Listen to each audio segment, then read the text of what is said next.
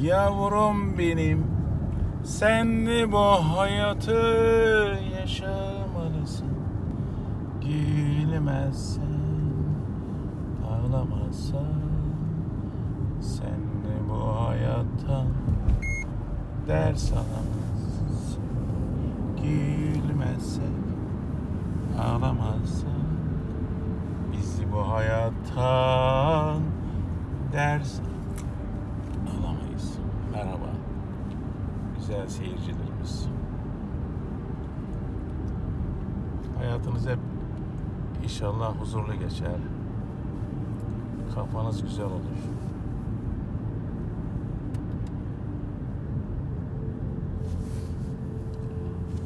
Hayatta en kötü iş kararsızlıktır. Ve yaşam. Hayatta en kötü yaşam kararsızlıktır. Karar ver. Yaşıyorsan karar ver. Bekleme. Düşünme. Karar ver kardeşim. Karar, karar.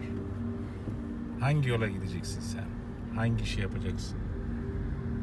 Hangi sözü söyleyeceksin? Başla. Allah yarasın sana. Başlamadan hiçbir yol bitmez. Senden bir adım istiyorum. Tanrı, gayret istiyorum. O zaman bütün yollar biter. Bütün işler başarılı olur. Sonu hayır olur. Güzel olur. Evet karar ver. Ben ne yapmak istiyorum? Ne olmak istiyorum?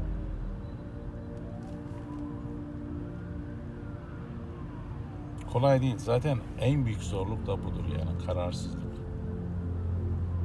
Tedirginlik, korku, çekimserlik, kaygılı, güvensizlik. Hatta bu çağda da çok daha var güvensizlik. Güvenmiyor kendine.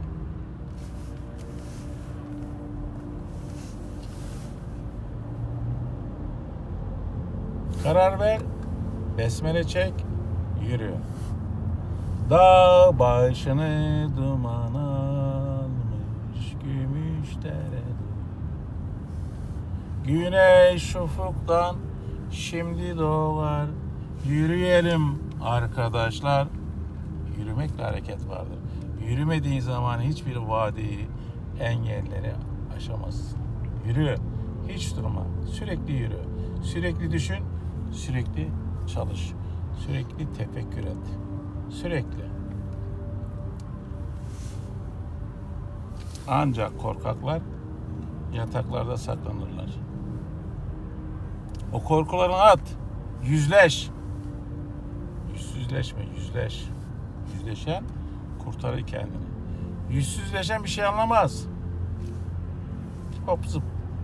Hasta, hasta, hasta. Yüzleş. Hatalarınla, eksiklerinle, cahilliğinle.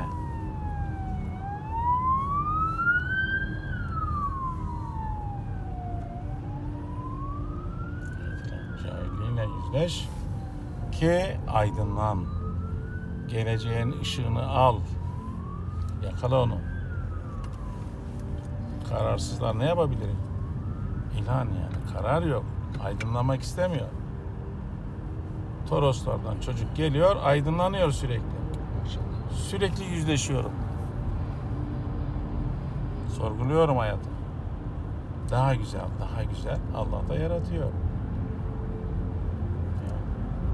Her saat, her dakikam, her günüm yüzleşiyorum.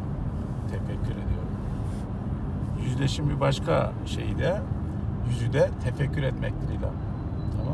Evet abi. Tefekkür. Ben kimim? Nereden geliyorum? Yaptığım iş ne?